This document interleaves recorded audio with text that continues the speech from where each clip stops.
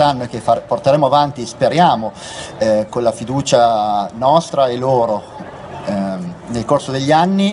porteremo al, allo stadio tanti gadget, tanti, tante sorprese per i più piccoli, ma non solo. Saranno distribuite cappellini, magliette e, e tante altre piccole cose che ricorderanno ai nostri tifosi che ci siamo, che siamo qua per lavorare e